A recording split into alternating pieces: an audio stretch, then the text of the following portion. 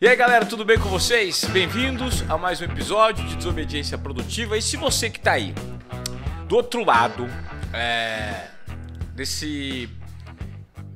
desse. desse o quê? Dessa plataforma de streaming, no YouTube, é, no Spotify, onde quer que seja, se prepare para ter uma aula de personal branding. Eu acredito que hoje é fundamental que você, independentemente de onde você trabalha, se você é empreendedor, se você trabalha numa empresa, se você está começando o seu negócio, se você é estudante, o que quer que você faça, tudo o que você faz comunica para o meio onde você frequenta, seja na sua família, no seu trabalho, no meio dos seus amigos, no seu meio social, no seu meio corporativo, tudo gera uma comunicação. E é fundamental que você seja autêntico e Entenda a necessidade de construir sua marca pessoal. É exatamente sobre isso, autenticidade e personal branding, que nós vamos conversar com um dos maiores entendedores desse assunto no Brasil, um cara que eu tive o privilégio de conhecer recentemente num grupo muito sólido, é um mastermind do Joel J. É, grandes notáveis estão presentes nesse grupo e eu tive a oportunidade de conhecer o Arthur Bender, esse gaúcho que veio para cá para São Paulo para disruptar o mercado, para falar sobre branding. Está inclusive lançando um MBA super interessante aí Sim. com Washington Oliveto, com Flávio Augusto e pegou um tempinho para nos explicar sobre autenticidade. Esse novo livro que ele acaba de lançar, Mitos e Verdades na Construção da Sua Marca Pessoal. Perfeito. Tudo bem, Bender? É, teu discurso foi perfeito com a importância de personal Posso ir embora? Não, não preciso mais falar nada não vai aqui. embora de jeito nenhum. Aliás, estamos aqui hoje como somos autênticos, eu ofereci pro Bender, que eu sei que ele gosta de tomar uma cervejinha, uma Biliner. Vamos fazer um, um brinde aqui. Uma um brinde. é uma marca. Na verdade, é uma linha de cervejas da Valfenger, uma cervejaria muito parceira nossa. É, o Caio, que é o dono dessa cervejaria, incrível, já foi muito premiado não só no Brasil, mas no mundo inteiro. E ele deixou uns exemplares aqui, a gente resolveu, num formato de desobediência produtiva, tomar essa cerveja tem 2,7 de álcool só. Impressionante, cara. Muito Estamos gostoso. experimentando, frutas, o Arthur já gostou. Frutas vermelhas. Frutas vermelhas, cerveja de frutas vermelhas com 2,7. Meu amigo, me fale sobre esse livro, cara. Autenticidade, o mundo precisa ser mais autêntico? Eu acho que é uma grande discussão, uma discussão muito interessante, Ivan, porque uh, a gente vive um mundo fake é, se a gente faz essa análise hoje, não só na comunicação, os fakes são. A gente lidar com isso agora com inteligência artificial vai ser complexo, mas se tu pensar em tudo que a gente tem hoje que não é o que é, de flores de plástico né, para fazer parede de vegetação natural, uh, seios de silicone, bunda de silicone, peito de silicone, cílios postiço, aplique de cabelo, dentes, peitoral de homem, dentes de mentex, dente de mentex, né? Uh, então uh, hoje tudo tem uma cara, assim, muito mais com uma obsolescência muito mais rápida, efêmera. Então nesse contexto ser autêntico é do caralho. Desculpa, desculpa o palavrão. Não, não. É do, eu, acho, é, eu acho, eu acho. É do caralho. É? Então, a narrativa do ser autêntico, ela bate muito forte nas pessoas. Agora, o mito é lidar com essa autenticidade, entender o que é essa autenticidade, porque a autenticidade não é só a, a, a ideia uh, muito objetiva e rasa de ser você mesmo, porque tem implicações. Então, minha defesa aqui é que ser você mesmo é muito importante, mas para eu fazer isso, eu preciso ter autoconhecimento, eu preciso saber quem eu sou e, ao mesmo tempo, eu preciso olhar o entorno à minha volta e entender os impactos que eu causo sendo eu mesmo e os reflexos sobre a minha vida. Você diz isso, você estava me explicando previamente, antes da gente começar aqui o nosso podcast, que isso é do ponto de vista de comportamento né, e valores morais e éticos que muitas pessoas têm. Você estava dizendo, pô, o cara que é mau caráter, ele não pode ser ele mesmo sendo mau caráter no meio, porque daí ele vai colher os reflexos disso, colher, né? E vai aguentar a porrada do mercado, concorda? Sim. Então, mas não é verdade, assim, não é interessante que as pessoas de fato sejam elas mesmas e aí você vai separando o joio do trigo no convívio? É, porque não existem só seres humanos do bem, né? Claro. Mas eu acho que aí uh, o autoconhecimento te faz entender não só teus ativos, é, mas entender tuas vulnerabilidades também. Uhum. Eu faço profissionalmente isso, faço consultoria para centenas de celebridades e personalidades no Brasil há 20 anos. E geralmente, Ivan, tem uma dissonância cognitiva muito forte entre como a gente se percebe, ou seja, o meu self, e como me percebem. É, os psicólogos chamam isso de dissonância cognitiva, e a gente usa muito isso no branding, que é essa diferença, esse vazio que existe, às vezes contraditório, entre o que eu acredito que eu sou e como me percebem. E aí, Nossa, a é gente é entra. Cara, a gente entra num campo das percepções que é fudido, que é. é posso dar um exemplo? Uhum. É um exemplo que eu uso bastante. É, muitas vezes eu entrevisto a personalidade e pergunto qual é o valor, um valor central para ti, algo que é muito importante para ti e que ressalta na tua personalidade. Aí a pessoa me diz o seguinte: ah, eu sou uh, autêntico e verdadeiro. Ou seja, o que, que ele quer dizer? Eu não falo pelas costas, né? Uh, eu falo na frente da pessoa. Então, isso é um valor, é positivo, obviamente, que está tá ligado à transparência, à ética, à integridade. Agora, dependendo da intensidade do teu verdadeiro, tu te, tu te constrói um, personagem, uma persona lá fora totalmente tóxica. Total. Imagina uma pessoa que diz verdades o tempo todo para todo mundo. Não tem empatia com o momento empatia. do outro, não seleciona o momento exato, o contexto adequado, o timing certo. Isso aí, a intensidade certa, né? Então, muitas vezes, eu entrevisto o sujeito, ele diz isso, eu entrevisto as pessoas, porque a gente faz isso com evidências. Entrevisto o entorno das pessoas, a audiência, os colaboradores e tal. Uhum. E as pessoas dizem, porra, é um filho da puta que deixa marcas de lágrima e sangue por onde passa. Porque ele vai dizendo verdades. Só que ele, ele, ele fica ensimesmado com esse valor porque ele acredita que é positivo. Uhum. E a gente vai envelhecendo, cara, e tu vai acentuando esses seus traços. E na tua cabeça, ele é, é maravilhoso porque tu está sendo tu mesmo. E as pessoas estão te percebendo como uma âncora, cara, como uma coisa muito ruim. E às vezes, Ivan, é, o teu sócio não diz porque não quer atrito, é, a tua mulher não diz porque está cansada de brigar com isso, teus filhos não dizem, e tu acaba uh, cada vez mais né, cristalizando isso em ti, e muitas vezes o que tu acredita que é positivo é negativo. Entendi. E eu te digo que todo, todo atributo positivo que tu encontra na tua própria marca, pode se tornar negativo dependendo da frequência e da intensidade. Vamos pegar uma coisa bastante simples. Uma pessoa que tem boa energia. Energia que você, cara, sabe, energizado, te dá bom dia de manhã, Sim. apaixonado. Dependendo da frequência e dependendo da intensidade, se torna um cara insuportável. Claro. Porque as pessoas não estão dispostas é... o tempo inteiro e elas querem ter seu espaço, de acordo com o ambiente que estão, com o momento de vida. Entender o timing certo, né? Entender o ambiente, entender as pessoas. Então é nesse campo das percepções que a autenticidade pode ser uma armadilha para tua vida. E acompanhando assim pessoas, pessoas que eu gosto, pessoas que eu adoro, pessoas que são talentosíssimas, mas que são insuportáveis. E todo mundo enxerga todo mundo enxerga, menos a pessoa. Então, esse, esse processo é um processo que precisa de autoconhecimento, precisa estar aberto a entender, mas tem uma exigência central que é muito interessante, que é compreender a importância do outro, do outro na tua vida. Eu gosto muito do Clóvis de Barros Filho, cito ele no meu livro, uhum. e ele diz o seguinte, cara, às vezes ele diz assim, ó, fodam-se os outros, né? Eu sou assim. É, não me interessa a opinião dos outros, né? É, tem frases que eu, eu, coleciono frases dessas que é assim: eu não quero uh, parecer, eu sou. Então todas essas frases levam para essa ideia de não me importo com a opinião dos outros. Mas o Clóvis de Barros Filho diz o seguinte: o outro nas nossas vidas não é uma abstração. O outro na tua vida é a tua namorada, é o teu filho, é é, são os teus colaboradores, cara, é a tua equipe, são os teus clientes, é a tua audiência. Você precisa se importar então, sim com dizer, o outro. Cara, tu precisa claro. te importar com o outro, é. porque tu não vive numa ilha deserta. E aí, autenticidade como reputação só fazem sentido, só fazem sentido, pensa nisso, se tu acreditar na importância do outro na tua vida. Claro. Porque se tu viver numa ilha deserta, hipoteticamente, Foda-se a reputação. Claro. Foda-se porque eu não tenho ninguém à minha volta. Uhum. Agora, quando eu tenho audiência, quando eu tenho pessoas, quando eu tenho relações, dependo dessas relações, é burrice tu contrariar a lógica. Né? Claro, é burrice. Agora, você falou algo muito interessante, Arthur, que é, é a dificuldade que muitos perfis, que muitas personalidades têm é, de se enxergarem. Isso é, é, é a muito distância. complexo. É, às vezes elas estão ali achando que estão que são autênticas, que, mas não tem canais de comunicação abertos e suscetíveis a receberem esse retorno.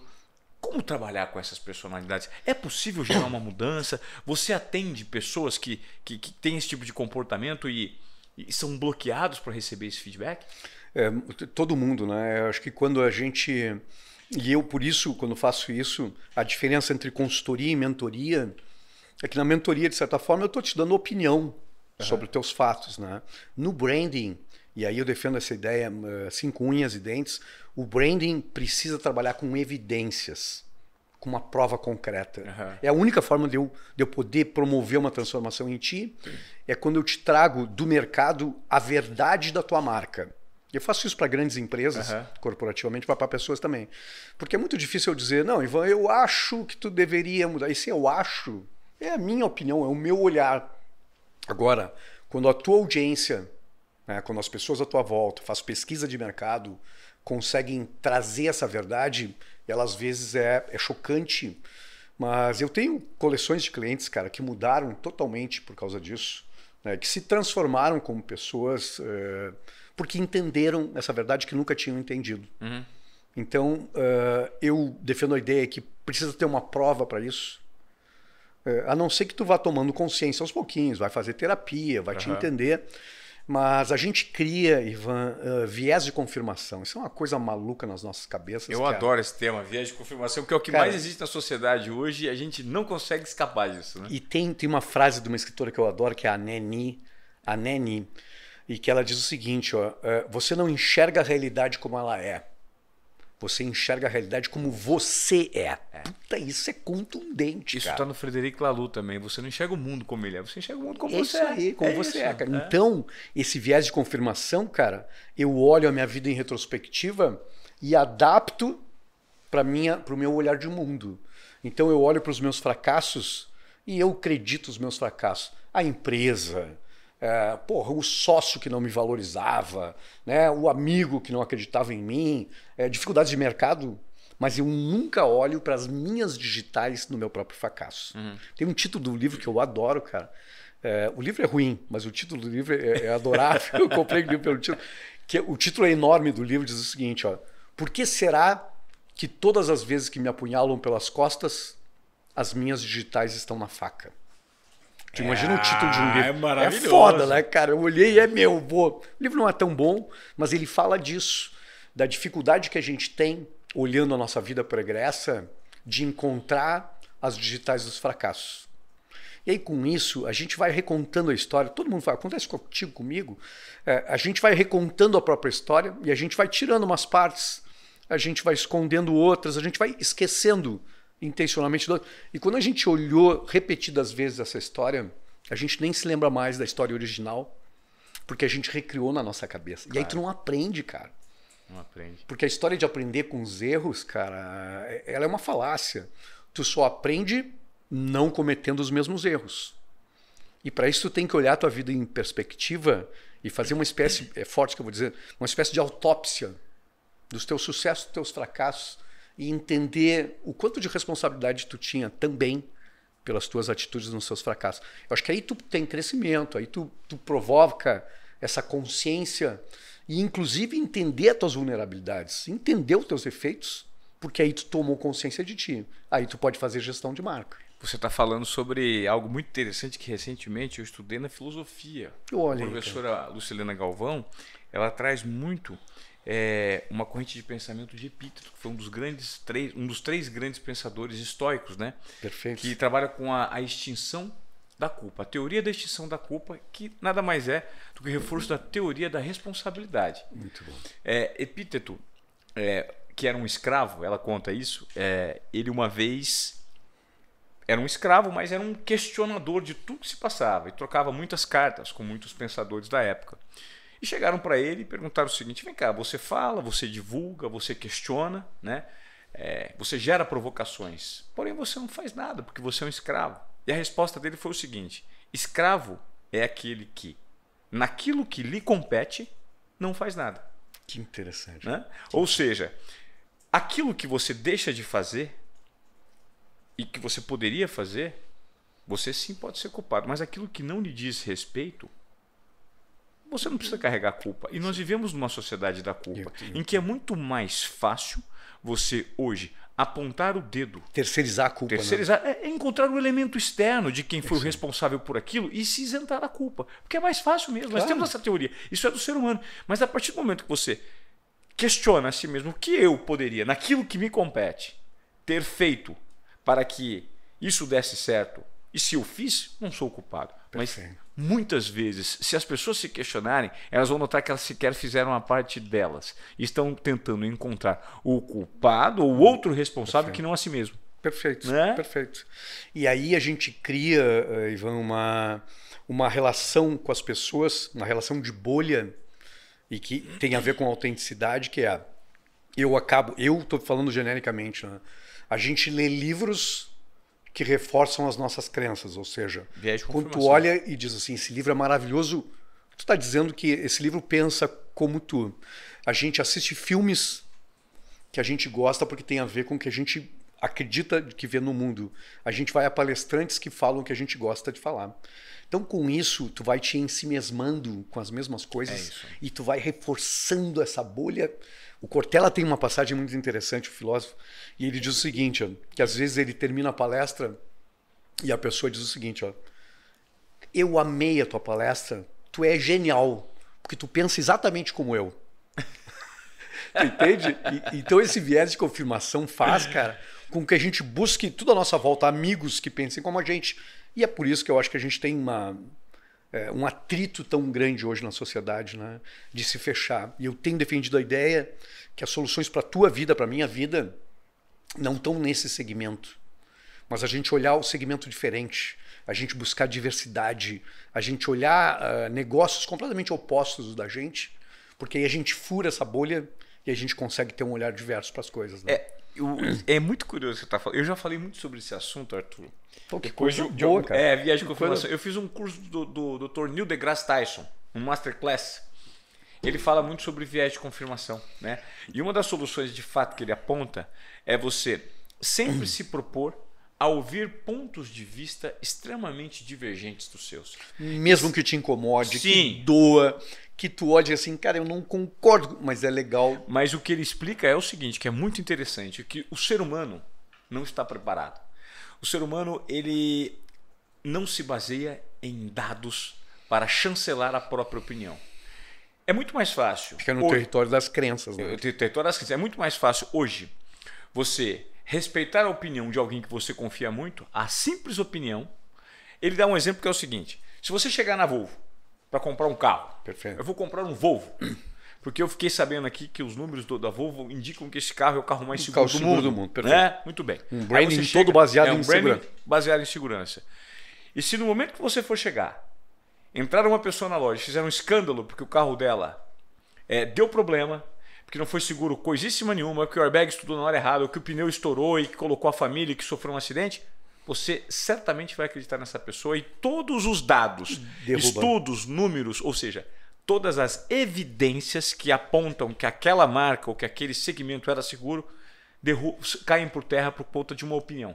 O ser humano. Então, ele explica que um dos critérios hoje para a gente tentar. Uma das, uma, uma, uma das possibilidades né, para você tentar Sim. escapar desse viés de confirmação é sempre analisar as evidências. Perfeito. Ou seja, e a ciência é a pedra fundamental nisso. O que, que a ciência traz de novo? Porque a ciência é a fronteira do conhecimento, é a última fronteira do conhecimento. Perfeito. Então, o que, que a ciência explica hoje? E ele explica, eu, eu me veio na cabeça, por que, que os terraplanistas são ignorantes? Porque eles Pô, ignoram a ciência. Perfeito, perfeito, né? perfeito. Porque só ouvem opiniões que não são baseadas muitas vezes em evidências. Assim, e às vezes, quando você vai para um debate, você já percebeu a quantidade de pessoas que falam assim: por que, que você pensa isso? Ah, porque o fulano pensa é isso. É isso o fulano me falou. Por que, que o fulano estudou? Quais são os dados que o fulano te apresentou? Não, é que ele falou, ele é um cara forte, é. ele é um cara com credibilidade. E, e geralmente assim, né? É alguém desconhecido é. que tem um, um, PhD em alguma coisa que tu nunca ouviu falar. Como se isso fosse a evidência necessária para dar sustentação para aquela ideia. Ou né? está na internet, né? É isso. Como se tudo que estivesse na internet é verdadeiro. Então. Né? Mas aí a gente entra muito nesse campo que é o campo das percepções e que está muito relacionado à minha interpretação do mundo, né? Claro. Agora, quando eu enxergo o mundo só do meu jeito, é óbvio que eu vou ter muitos desenganos nisso, Sim. nesse olhar, porque eu estou ensimesmado comigo mesmo. Então, acho que essa ideia que tu fala, né, de ser provocado pelo que incomoda, É, eu sigo nas redes sociais muitas pessoas que eu considero é, inteligentes, mas com opiniões diametralmente opostas à minha e que eu gosto de, de, de escutar e aquilo me dá um calor na hora, me dá uma vontade de, uhum. de escrever. Não escrevo, mas acho que funciona para mim como uma espécie de moderador, né? É um olhar externo que confronta minhas crenças, que confronta minhas ideias e que eu acho que me faz crescer. Mas muito. E vem daí, Ivan, o nosso papo inicial aqui, uh, da flexibilidade, né? De estar aberto para entender o olhar dos outros e aprender com o olhar dos outros sobre si mesmo. Mas para isso tem que ter empatia, tem que ter flexibilidade, né? Entre rigidez e flexibilidade, eu gosto muito dos orientais. E os orientais dizem que é o seguinte, um ditado que é: a gente precisa ser como o bambu verde, que dobra, verga a espinha, mas não, mas não quebra. Porque essa, metaforicamente, essa rigidez de crenças é assim, porque eu acredito que é assim, isso te derruba, porque quebra. Então, acho que essa sabedoria, cara, eu gosto muito da ideia que é, a força está na leveza e não o contrário. Né? Legal. Muito bom. Ô, Arthur, eu queria te fazer uma pergunta agora, que eu acho que tu muitas me perdoa pessoas... que eu falo demais. Imagina, não... tá maravilhoso. é, muitas pessoas devem se questionar hoje, a partir desse papo que nós estamos tendo, aqui no Desobediência Produtiva, como é que eu... Será que eu sou quem, de fato, eu gostaria de ser? Para as pessoas, né? Porque eu, eu sempre falo que na comunicação existe pelo menos três pensamentos, né? Aquilo que você comunica, aquilo que você gostaria de comunicar que você não está comunicando, mas o, o, que você também deveria comunicar. Deveria comunicar. Né? Existe uma distância muito grande. As pessoas deveriam comunicar algumas coisas, elas acham que elas comunicam isso, mas elas não comunicam nada. É, é, é completamente diferente.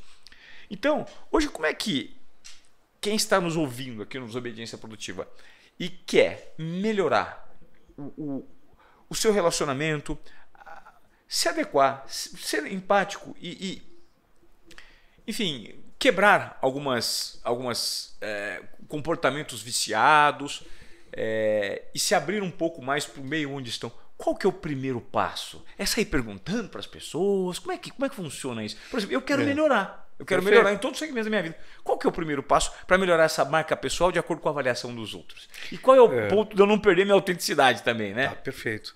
É, vou começar pelo final. Tá. Eu acho que é que não perder a minha autenticidade, uhum. porque eu acho que é um medo comum, é um medo que eu tenho, certamente tem, que as pessoas têm, que é de se tornar um marionete na mão dos outros. Manipulado. Manipulável, né? Aquela pessoa que ouve todo mundo e ela não sabe o caminho e ela fica andando, zigue-zagueando na vida, é, fruto da opinião dos outros. Então, isso é o extremo oposto, né? É, tá. é, isso que a gente não quer.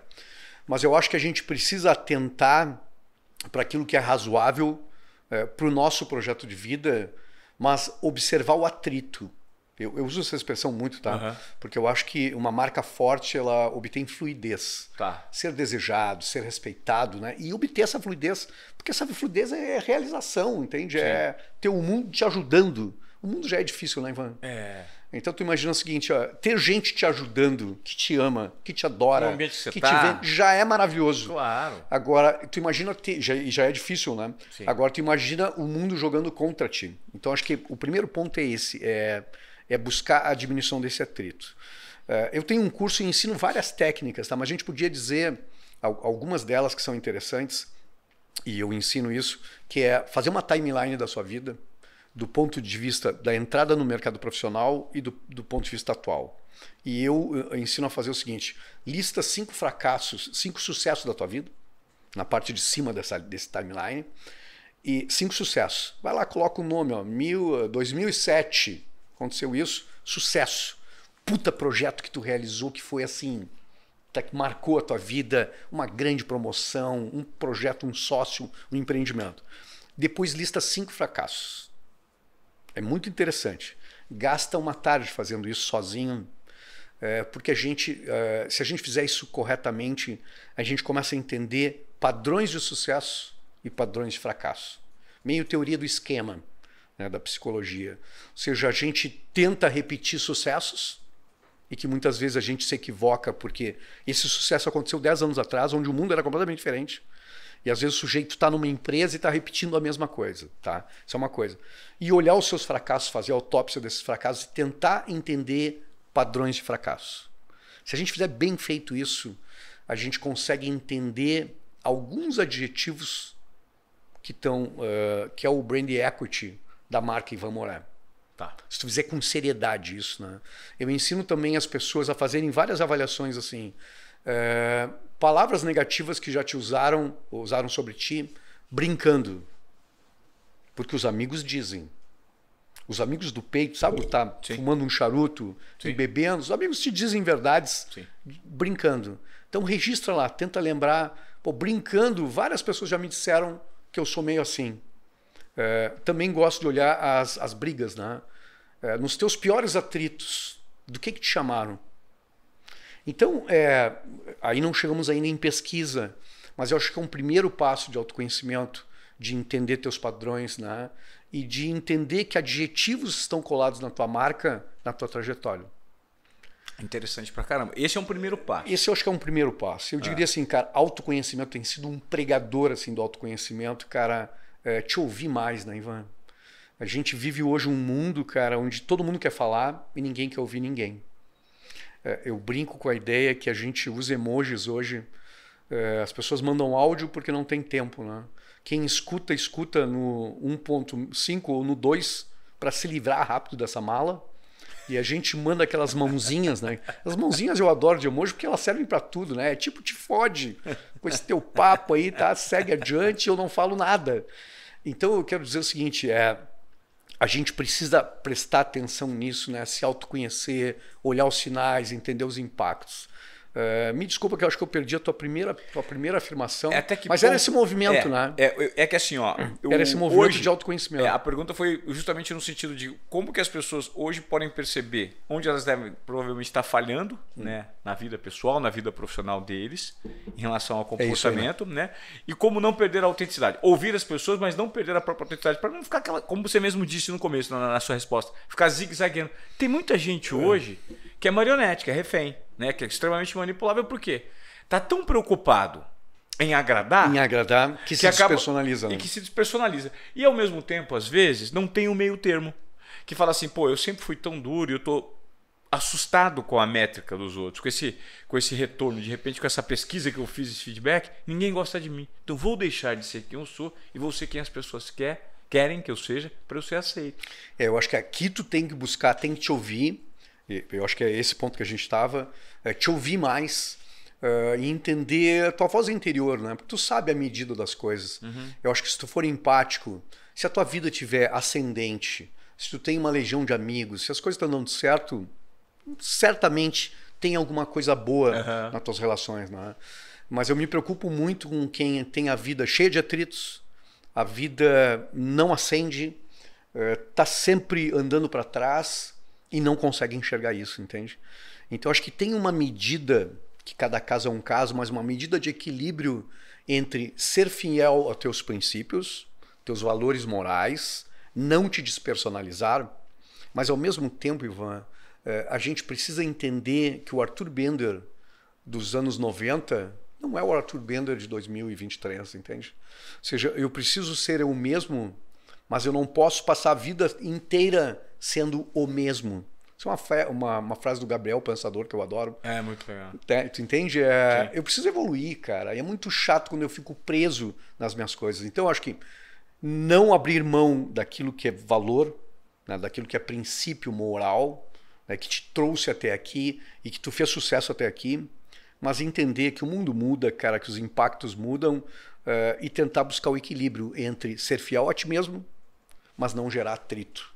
Eu acho que esse, esse seria o ponto aí para tá, começar. E está sempre aberto à escutativa, né, Arthur? Eu acho que sim, cara. É, como você mesmo disse, nós temos uma tendência muito grande a queremos falar, falar, falar. E a sabedoria está muito na escuta, né? Está muito na, na escuta. Em você ter empatia, o poder da empatia. É fantástico. Hoje, de ouvir as pessoas e ter paciência para ouvir mesmo. E ouvir com atenção plena, né? É, eu brinco uhum. com a ideia, porque hoje a gente plena. ouve mas a gente ouve nas nossas interações assim, cara, balança a cabeça, mas, mas tu tá, tá digitando é. no WhatsApp, né? claro. né? Tu tá falando outra coisa e tal. Então, atenção plena, eu acho realmente. Uh, e eu brinco com a ideia que a gente hoje tem muitos cursos de oratória e nenhum de escutatória, né? Exatamente. Ou seja, porque a gente não quer escutar, né, cara? A maioria das pessoas não quer escutar. Então tu faz tudo com fone de ouvido, né? Tu tá sempre falando. E acho que a gente tá faltando. Meu segundo livro, que se chama Paixão e Significado da Marca, eu bato muito nessa nesse olhar de tentar te escutar, de tentar ficar em silêncio. Porque eu acredito, Ivan, eh, acredito mesmo que muitas das respostas que tu precisa para corrigir teus problemas da vida, elas já estão contigo. Só que tu não te abre, né, para realmente te escutar, entende? É, a gente acorda, acorda na ação, né? Então hoje a gente busca muito performance, mas a gente não para para planejar. E planejar exige se pensar.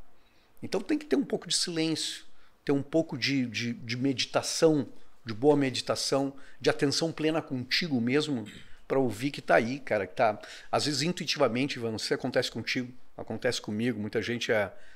Aquele primeiro ímpeto vem, né? Aí tu vai, tu continua erradamente, daqui a um ano tu descobre, puta, eu tinha, eu tinha intuição, cara. Eu sabia que ia dar errado. Mas eu não usei. Mas eu não usei, eu não ouvi, né, cara? Eu é. abafei e fui embora. Então acho que é por aí. A civilização do espetáculo atrapalha muito hoje as pessoas quando eu falo civilização do espetáculo, eu falo civilização. Muito boa essa expressão, é? gostei. É, isso é o, é o título do, de um livro que transformou minha vida. Não sei se você já leu. Mário Vargas Llosa, Prêmio Nobel de Literatura. Não li, tá. É a civilização do espetáculo. Ele fala muito sobre hoje é, o, a cultura da que ele chama de contracultura, né? Que é essa cultura de, de que serve única e exclusivamente para distração das pessoas que vivem massacradas por uma rotina extremamente dura e complexa em que você não quer se debruçar sobre um grande pensador, sobre um livro, sobre um pensamento um pouco mais aprofundado, porque isso demanda tempo e paciência. E dói, né? E dói, e exige. Então as pessoas querem, querem consumir a, a, a, as frivolidades que eles chamam do dia a dia. Por quê? Porque elas querem se entreter. E dão a, dá a falsa sensação de que são cultas. É, né? isso mesmo. E hoje a gente vive um, uma sociedade do exibicionismo promovido pelas redes sociais em que todo mundo faz o recorte é daquilo que dá certo. Né? Então, assim, a gente vive é, a, a, o teatro da vida de sucesso, da vida de felicidade, que todo mundo monta nas próprias mídias digitais. E, de certa forma, apesar de todos nós, eu, você e todo mundo saber que principalmente o Instagram é uma vitrine que não revela só é, a, não, que está longe de ser a vida real, nós temos uma tendência a comparar o bastidor da nossa vida com o palco dos outros e nos colocarmos para baixo. Perfeito. Né? E eu acho que isso cria muita dor, né? É, e cria uma espécie assim de, de paisagem que a gente sabe que não é verdade, mas que passa a ter como um balizador do que, que é sucesso, né? É, então a gente vê hoje é, um, uma das coisas que a gente defende em branding é que obviamente no branding é, a gente faz uma sinapse, é, obviamente todo mundo faz isso, que é uma sinapse. É, se o sujeito é rico ou ostenta alguma coisa, ele deve ser bom, porque ganhou dinheiro com aquilo, então talvez seja um bom profissional. Mas é uma sinapse é, muito rasa do nosso cérebro. Né? Claro. Ah, ganhou dinheiro, deve ser bom profissional. Mas as pessoas passam do ponto nisso. Então o cara aluga helicóptero para sugerir.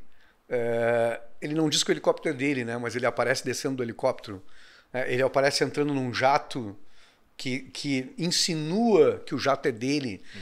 Então isso, cara, cria uh, um drama muito especial nas pessoas, que é a distância entre identidade e imagem. E isso vira uma escravidão, cara. Vira uma coisa difícil de administrar.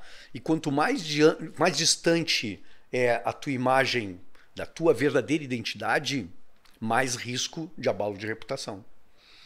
Então a gente se acostuma com essa vitrine, todo mundo tem que parecer bem sucedido, né? Mas a gente tem que pensar que esse, esse sinal de autoridade por conta do dinheiro não é a única garantia de que tu é muito bom, concorda?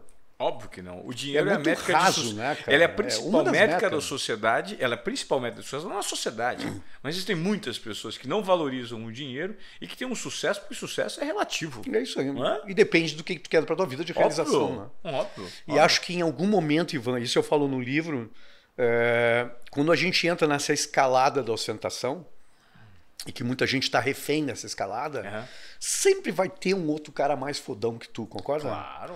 Aí tu comprou o carro de 2 milhões, vai ter um cara com um carro de 6 milhões. Sim. E aí o cara de 6 milhões tem um jato de 25 milhões, É isso, cara. é então isso. se tu entrar nessa escalada, cara, sempre vai ter um pica galáctica É. e que vai te gerar frustração. Então acho que algum- em algum lugar, em algum momento da tua vida, a gente começa a se pensar no porquê. Acho que entra uma parte filosófica aqui de personal Aham. branding, que é por que, que eu faço o que eu faço, né, cara? Né? E, e o que, que é a minha realização? né? Que obra eu vou deixar? Que legado eu vou deixar? E esse é um dos pilares de autenticidade para mim. É quando eu junto imagem, atitude coerente e obra. E essa é a parte interessante. É isso que eu defendo em autenticidade. É, pensa em marcas com grandes obras, eh, grandes obras como Niemeyer, por exemplo. É, quando eu falo Niemeyer, dispara no teu cérebro Brasília.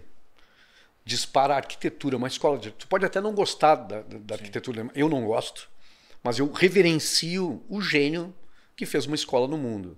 Se eu te falar em Pitangui, Cirurgia o plástica. teu cérebro dispara essa sinapse. Pensa em Pitangui como futebol. Tu, é- tu veio da área. Não cola, né? Não. Pitangui é cirurgia plástica. Ele era o rei da cirurgia plástica. Então, se a gente pensar em é, Sebastião Salgado. Perfeito. Cito no livro, cara. Adoro. É, o fotógrafo das causas sociais. Se a gente pensar Irmãos Campana no design brasileiro. Então, autenticidade para mim é quando criador e criação se cruzam e a gente não consegue saber qual um é um e o outro. Ou seja, eu vou a Brasília, eu enxergo Brasília e eu lembro de Niemeyer. Eu penso no nome Niemeyer, na marca Niemeyer, e eu me lembro de Brasília. Eu penso num fenômeno do futebol, me vem à cabeça o Ronaldo. Isso aí, cara. É esse, esse tipo de associação que para mim é a grande obra da tua vida. É, Sebastião Salgado, a gente estava falando, é um cara que tem que devotou a vida para as causas sociais, que tem um traço muito original e genuíno dele, que é o preto e branco na imagem, Sim. e que se tu olhar as atitudes da vida do cara, é um cara preocupado com sustentabilidade, não no discurso, é um cara que tem prática disso, que fez grandes reflorestamentos, que tem uma vida com atitudes. Né? Então aí a gente tem uma marca autêntica, aí a gente tem uma grande obra. É. Pensa no Pelé, cara. Né, no mundo dos esportes, virar um verbete agora, né? Virar um verbete. Virar um verbete, cara, isso é a coisa. Mas pensa no Pelé e vão o seguinte, ó.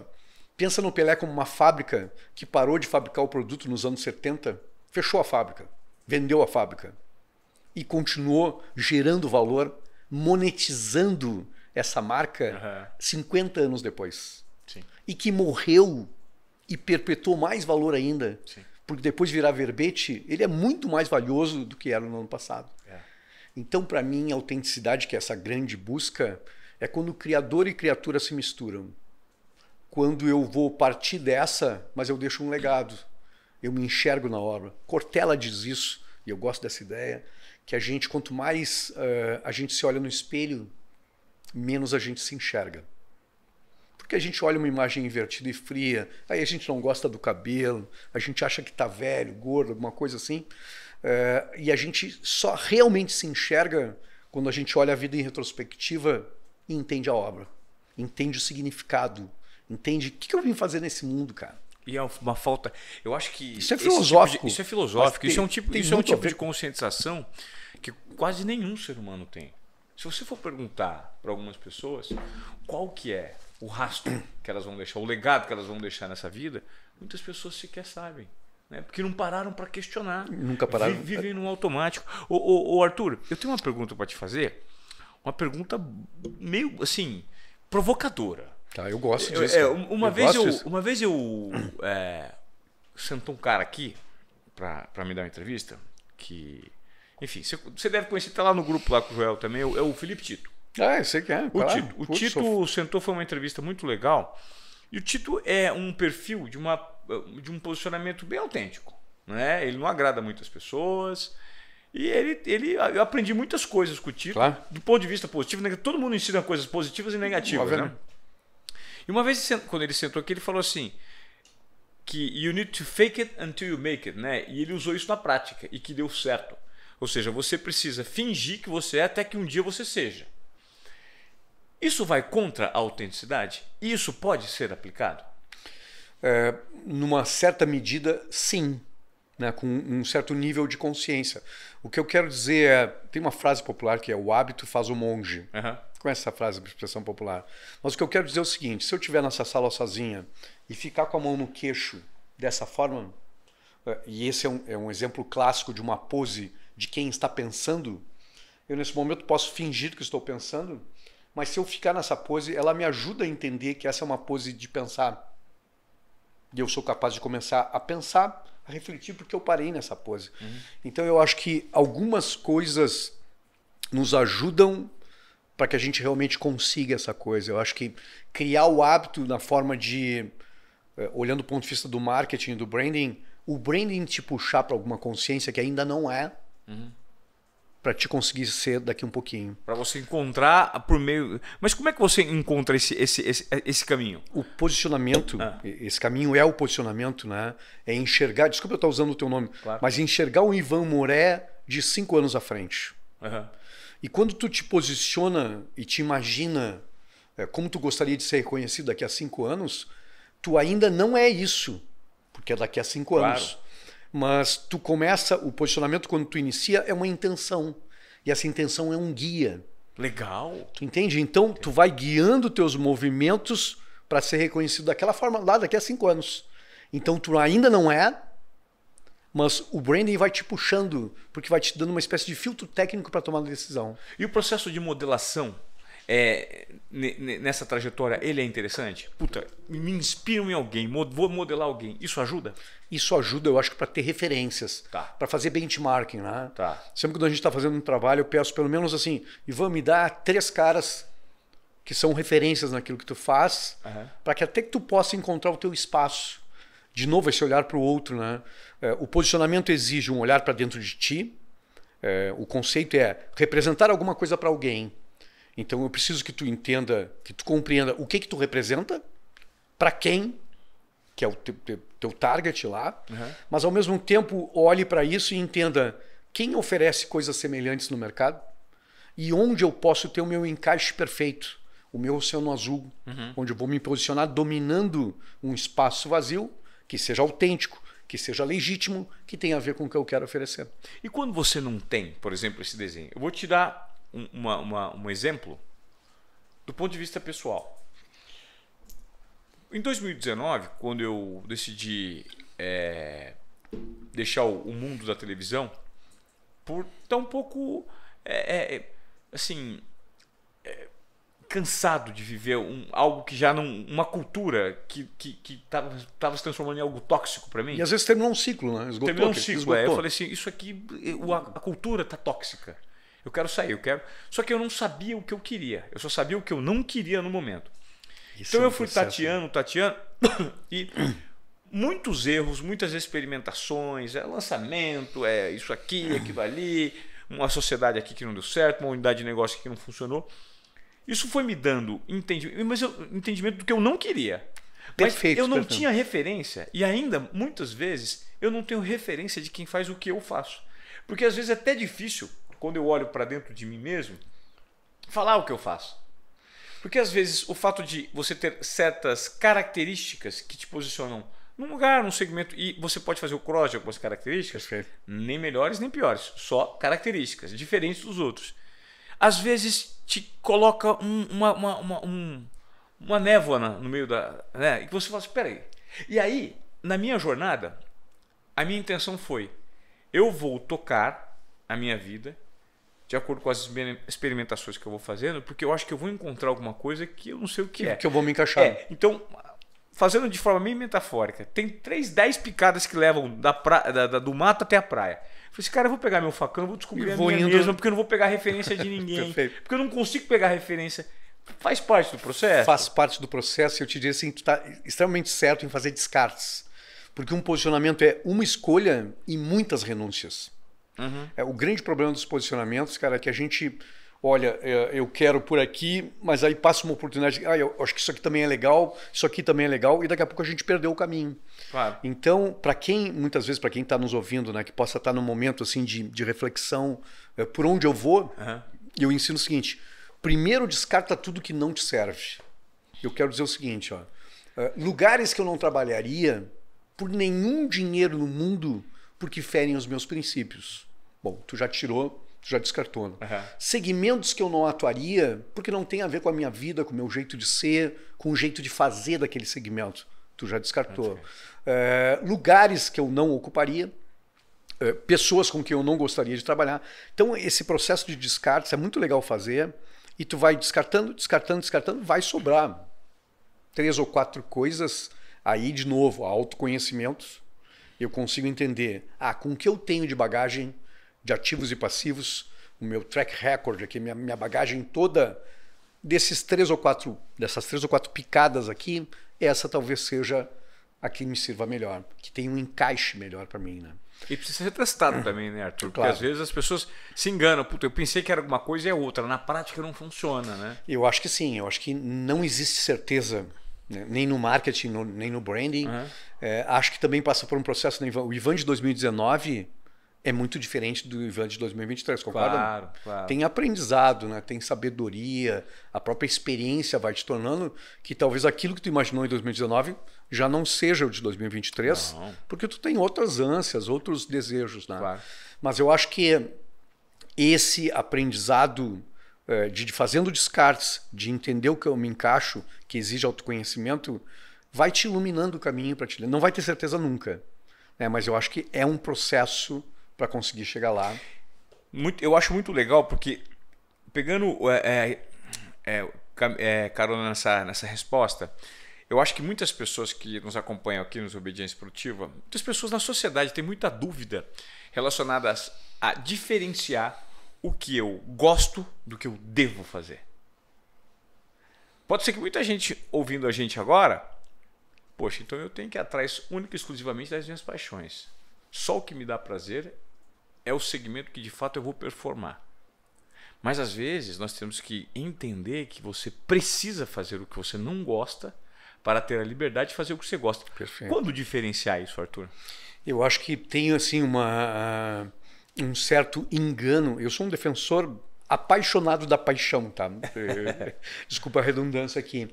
Mas muita gente confunde a ideia e diz, bom, trabalhe com que você é apaixonado e você nunca vai estar trabalhando. É. Uma coisa que é de autoajuda barata. Uhum. Eu digo o seguinte, fazer o que a tua grande paixão não exclui atender cliente chato tirar nota fiscal, burocracia, fazer pitch de vendas, fazer um monte de coisa chata para te poder viver a tua paixão.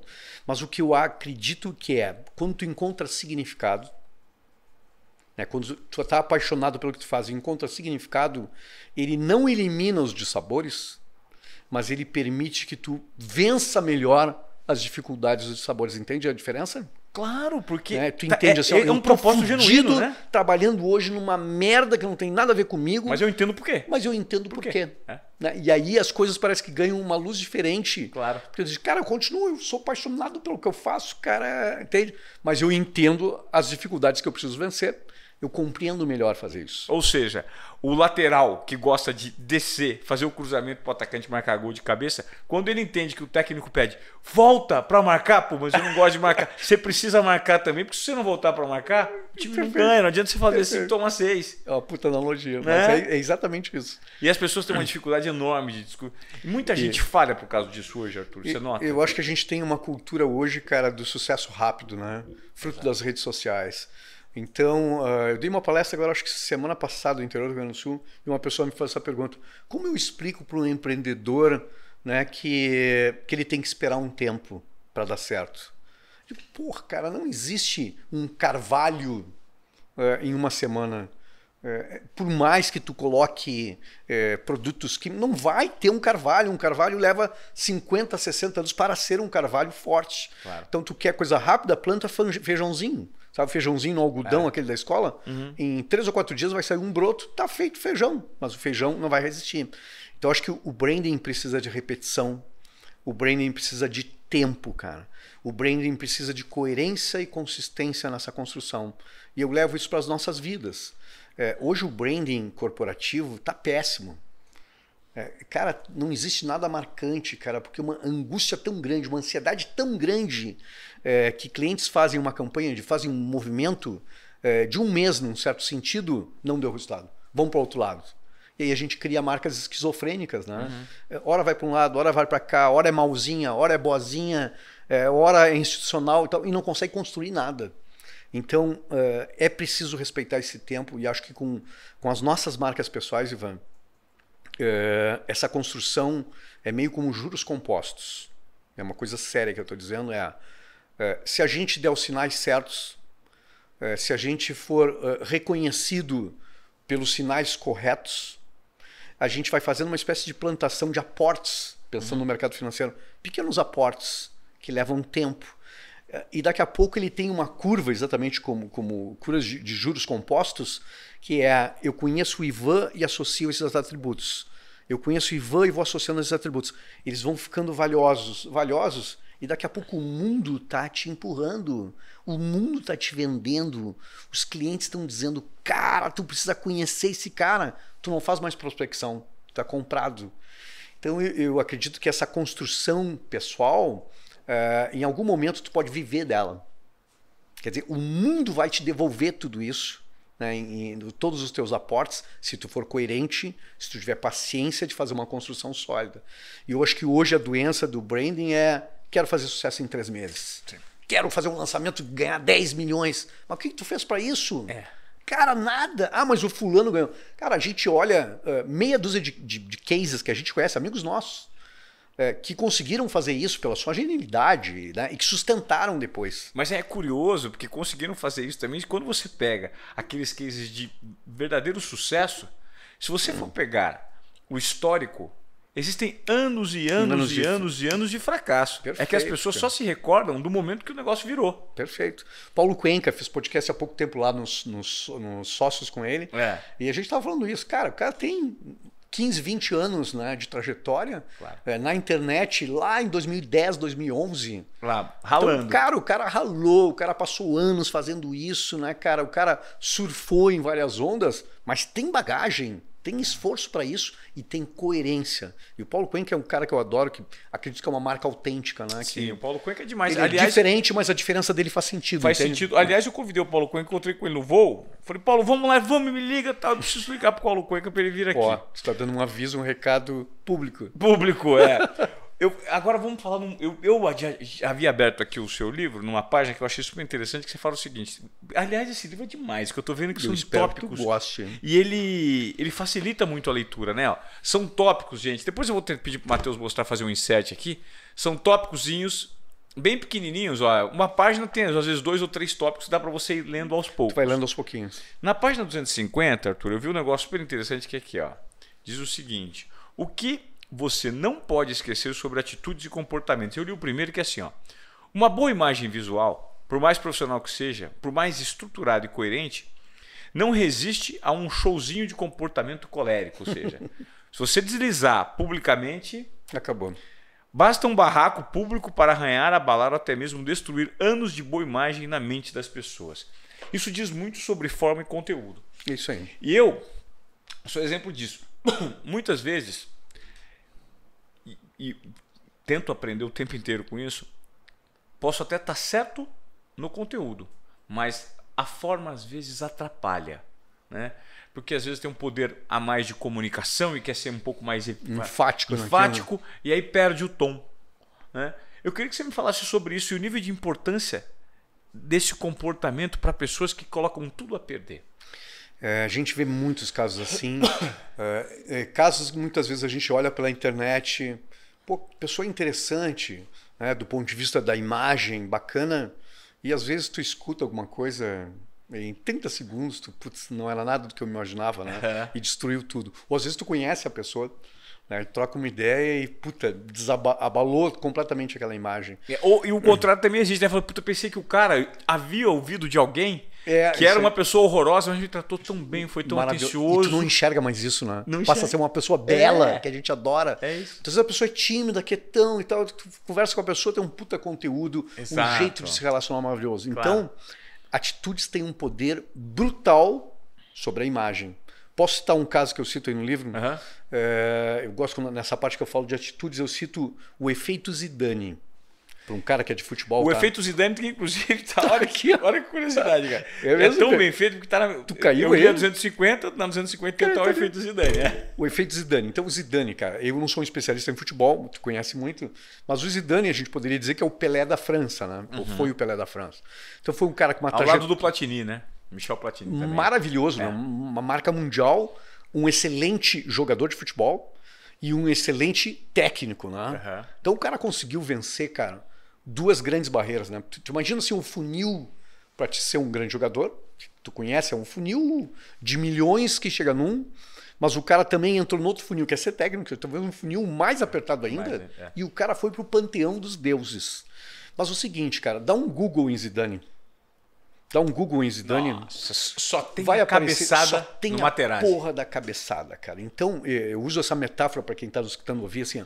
tu imagina uma vida, cara, o sacrifício que esse cara fez, o quanto ele treinou, o quanto ele foi disciplinado, o quanto ele abriu mão de, de prazeres para poder ser um puta atleta vencedor Aham. e a vida resumida numa cabeçada. Impressionante. Tu entende a força disso? Posso citar outro caso? Zagallo.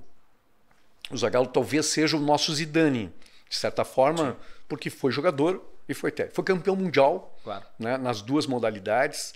Eh, e o Zagallo, eh, muito bem intencionado, e eu adoro o Zagallo, e acho que é um cara competentíssimo, eh, ele usou uma célebre frase que se tu perguntar para uma plateia de 10 mil pessoas, qual foi a frase do Zagallo? É, é que fica- 10 mil pessoas em uníssono dizem: vocês vão, ter, que, me engolir.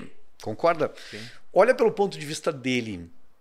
O cara eh, deu um desabafo. Ele estava sendo massacrado, a gente acompanhou isso, né? Eh, ele fez um puta desabafo. Só que ele fez um desabafo para uma câmera para 50 milhões de pessoas. Então, se a gente digita lá Zagallo, essa frase aparece é, tudo. Então, é, o importante das nossas atitudes aqui, cara, ah, um ato numa sociedade envidraçada, eu chamo de sociedade envidraçada, é, um Big Brother ao contrário, é, pode derrubar anos e anos né, de, de uma construção sólida, de grandes construções de reputação. Então, acho que esse é o poder das atitudes. Eu, eu só fechando o exemplo do Zidane, eu brinco com as pessoas o seguinte: bom, o que, que pode ter acontecido com o Zidane? O Zidane pode ter entendido isso que a gente está conversando, ele pode ter feito terapia, porque eh, a ideia era que o Zidane tinha um pavio curto, né? O cara ficou. No livro eu falo o nome do jogador, inclusive, que estava falando no, no ouvido dele. O Materazzi. É? É. Ah, e que porra, o cara falou. É. Tem até a frase que o cara falou sobre a irmã dele, né? É. Então, eh, boa parte das pessoas seriam muito tentadas a perder a cabeça né, e dar uma porrada no cara. Mas aí eu faço a seguinte pergunta: olha o que é as atitudes para marcar a imagem de marca. Tá, ele fez terapia, tá? ele se curou, foi lá, fez mais 10 anos, não sei quanto tempo ele faz, mais de 10 anos, e ele virou outro cara. Agora imagina o seguinte: eh, tu tá com a família na Europa, e tu tá passeando lá, cara, na, na França, e tu entra num restaurante, cena hipotética, e tá lá o Zidane na mesa do lado. É, certamente, qualquer um de nós mortais, né, cara, a gente identificasse o cara, pô, vou lá fazer uma foto com o cara, concorda? Claro. Ah, pô, Zidane, tá. Então as pessoas concordam comigo até aí.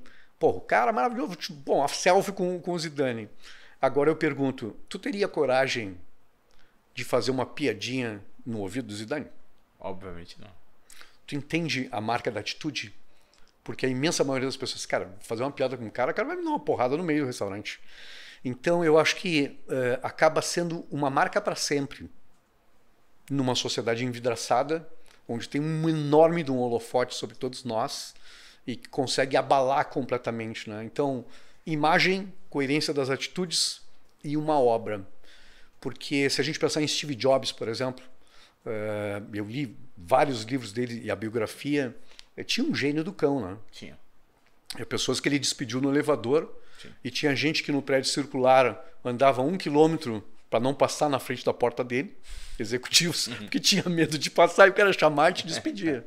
Só que a obra foi tão grandiosa, do ponto de vista entendendo isso, tão grandiosa que de certa forma eclipsou um pouco as atitudes ruins, né?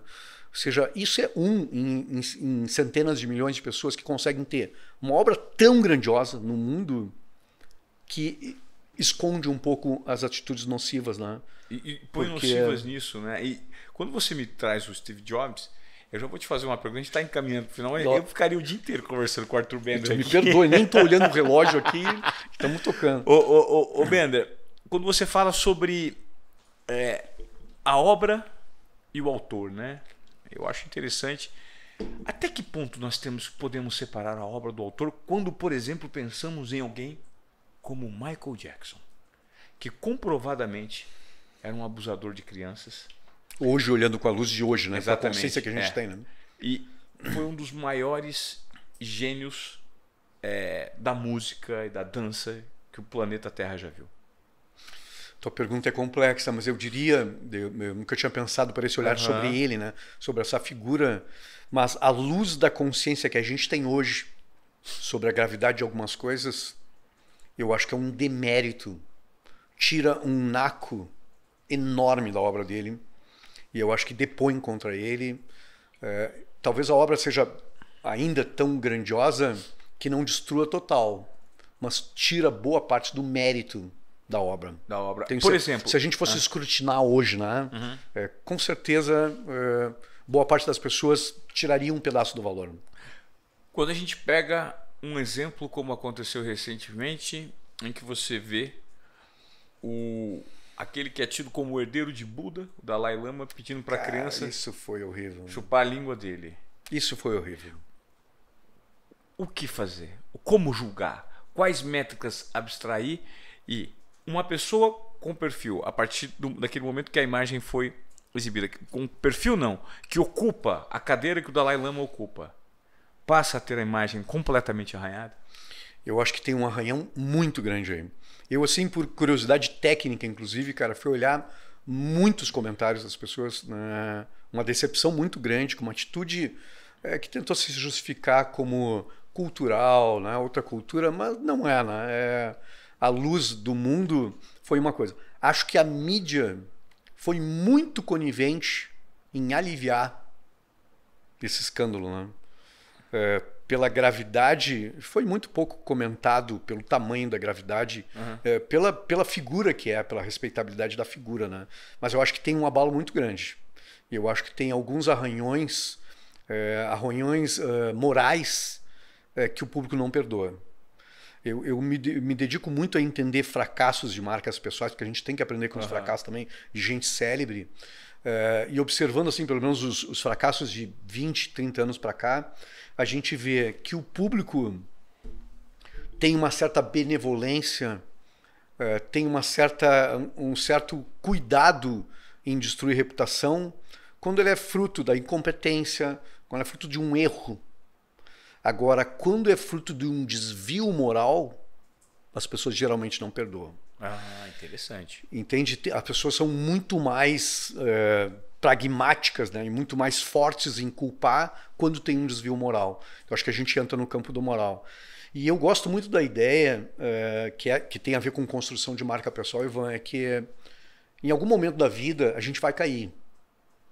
É, a gente pode deslizar e cair, a gente pode dizer uma merda, a gente pode, Sim. no momento impensado, mas aqui vem a força das marcas pessoais, de construção de reputação, que é criar uma gordura moral, uma reserva moral para os tempos difíceis.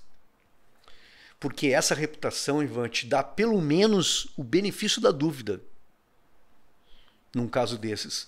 Porque quando a gente tem boa reputação, as pessoas perguntam assim: ó, será mesmo? Será que é verdade? Para aí, eu vou aprofundar melhor, eu vou procurar entender os motivos, as razões. Agora, quando não tem reserva moral, eu não posso citar nomes aqui porque vou. É, a gente já condena de cara. A gente escutou metade, o highlight é, na internet ou na TV, a gente diz assim, tá, tá aí. É, é, era isso que ia acontecer, eu sabia que ia acontecer. Geralmente a gente toma, porque não tem reserva moral. Então, a, a gestão de crise, que é uma coisa que apavora muitas pessoas, a gente não deveria acontecer a gestão de crise. Né? A gestão de crise deveria ser pensada muito antes da crise. Criar reserva moral né? um colchão de proteção para os tempos difíceis que a gente está sujeito a e cair, né, cara? E os cancelamentos, na sua visão, eles têm prazo de validade? Porque e... o que a gente nota é que, pegando outro exemplo da sociedade, até Guilherme de Pádua voltou a fazer sucesso na TV. Incrível. Né? Morreu recentemente. E mas voltou a ter holofote.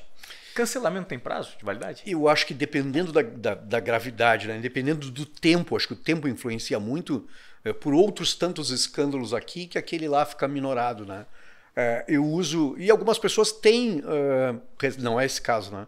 Algumas pessoas têm reserva para voltar. É, se eu pudesse citar um exemplo, William Vac. William Vac foi despedido da Globo, Sim. foi de certa forma cancelado e apedrejado pela mídia por, um, uma frase racista num Sim. momento de infelicidade dele. Uhum. Mas eu acredito que ele, ele tinha alguma reserva moral para as pessoas talvez não perdoarem, né? Uhum. Mas minorarem um pouco isso e ele ser reconduzido. Agora, dependendo da gravidade, eu acho que a gente não volta. Legal. Dependendo da gravidade, tá? Ô, Arthur, poxa, eu, não sei, tem alguma pergunta que, eu, que eu, eu não te fiz que você gostaria de ter respondido? Porque acho que nosso papo Cara, foi o tão papo legal, tava foi tão muito completo. legal, a gente falaria horas e horas aí, cara. É, eu acho que tem, tem uma coisa importante que depois. é, tu, tu iniciou falando uma coisa, eu ia falar e depois eu, eu me perdi. Que era quanto aquilo das pessoas que estão procurando o seu caminho hoje pode ser interessante. Sim. E muitas vezes nesse posicionamento, e eu recebo muitas dúvidas das pessoas assim: ah, eu sou isso, mas eu gosto também disso. Eu sou jornalista, tenho uma trajetória de esportes, mas eu tenho uma paixão que brotou na minha idade agora e eu também gosto de fazer uma outra coisa. Eh, E essas pessoas muitas vezes se julgam ah, sem caminho. Ah, eu sou muitas coisas. E eu ensino um posicionamento aqui, uma forma, eu ensino três formas de se posicionar. Uma é escavar, escavar que eu quero dizer segmentar, segmentar, segmentar até chegar o que tu é, tá? um, um tópico só teu e te apropriar dele. Escalar, eh, que é sair de um nicho muito segmentado e levar para uma grande massa. Eu uso o exemplo do Joel J. Se- o Joel J seria um nadador, um, um, um Bernardinho das piscinas, concorda? aham. Terminou a carreira de nadador, vira técnico Mas é, e o e vira o curioso, Bernardinho. é, e o curioso é que o Joel, ele é, pra mim, o sucesso dele no que ele faz, ele é tão maior, relativizando, tá? O- que o Bernardinho, porque o Joel não teve a performance que o Bernardinho teve, né? Como treinador, o Joel tem uma performance como treinador de pessoas, não de atletas. Perfeito, mas aí ele sai do nicho. É. Ele poderia ter virado o Bernardinho das piscinas, concorda? Sim. Seria o natural. Sim. Ele, um nicho muito pequeno, né, cara? Muito pequeno. Ser ele- técnico é, de nadador. Então ele sai do nicho pequeno, escala, leva pra cima e vira um treinador de pessoas de alta performance. É. Então legitima o cara que eh, luta por milésimos de segundo a vida inteira. É um cara capaz de me ensinar a crescer, né? Então, esses são dois. Mas o terceiro que eu te falo aqui, eu chamo de ifenização que é quando tu junta três, quatro coisas desconexas e transforma numa coisa única. Uhum. Sabe quando tu me disse aqui, ó, ah, eu não consigo me explicar? Puta, isso é do caralho, sabe por quê? É. Porque quando a gente não consegue se explicar, certamente tu tem um oceano azul. Tu tem um pouco de jornalista, tu tem um pouco de um outro tanto de comunicador, tu tem uma cabeça muito voltada para o humano, aqui como eu entendi, Sim. filosófica. É, ah, talvez essas coisas possam ser díspares, mas tu pode juntar e te tornar único com essas três coisas. Naquilo que você então comunica. é muito interessante, cara. Legal. Ifenização, tá? É uma Ifenização. forma de juntar coisas diferentes e te tornar uma só. Legal. Pô, Bender, eu gostaria de agradecer a sua presença aqui Eu no agradeço Desobediência imensamente aí, cara. Tá? Foi um privilégio muito grande. E eu tenho certeza que você que chegou até aqui no nosso podcast e que curtiu esse assunto, você vai compartilhar esse conteúdo para ajudar a gente amplificar essa voz, porque é só assim que a gente consegue chegar em mais, Perfeito. mais pessoas. Tá tão difícil a entrega de conteúdo hoje, e a gente depende muito da propaganda no boca a boca das pessoas que estão aqui presentes no Obediência Produtiva, de você que gosta do nosso podcast e que vê valor, porque aqui o nosso objetivo é justamente isso, trazer pessoas, cabeças pensantes para transformar a vida das pessoas. Ideias diferentes, né? visões diferentes. Visões né? diferentes. Perfeito. Para que as pessoas gerem algumas. eh, tenham alguns insights, questionem comportamentos e coloquem na prática uma mudança, mas a partir de agora. Então, eu gostaria que você, por favor, vai significar o mundo para a gente, compartilhe o nosso episódio com o Arthur Bender, um craque. E quanto mais pessoas forem impactadas, mais transformação a gente gera, né, Arthur? E eu adorei esse conceito de desobediência produtiva, cara. Você sabe como Me funciona? identifico muito com ele. É, o tripé do desobediência produtiva é intuição, confiança e coragem. Eu uso muitos exemplos que aconteceram na minha trajetória para chancelar a palestra, é, que muitos de nós recebemos sinais da nossa intuição, que no meu entendimento é toda a coleção de vivências é, conscientes e inconscientes que nós Perfeito. temos, ela conversa com a gente o tempo inteiro, só que a gente não está acostumado a mapeá-la. Mas a partir do momento que você mapeia a sua intuição, você precisa ser confiante para falar, Sim. ela está falando comigo. Então, valido essa- o que ela está me comunicando. Vou apostar nisso. Mas Perfeito. para apostar, você precisa de uma tomada de risco que só vem com o terceiro passo, que é a coragem. E a coragem talvez impede muita gente, que nada mais é do que tomada de risco, assumir riscos. Aposto ou não aposto? Mas se der errado, colha os resultados. Mas se der certo, você também vai colher resultados diferentes. Né? Perfeito, cara. E mesmo dando errado, tem É uma, isso. carrega um aprendizado, né? Claro. Eu adorei isso, cara, isso. do ponto de vista de sair da normalidade, cara. É isso. Sair da média, né, cara? É o que a galera aqui do nosso podcast faz, Arthur. isso aí. E é o que você veio contribuir. Muito legal, cara. Fico Tá muito bom? feliz. Muito obrigado. De coração, assim, muito obrigado pela oportunidade de estar aqui contigo. Imagina, eu, eu que adorei agradeço. eu tá? que agradeço. Até a próxima. Valeu. Até a próxima.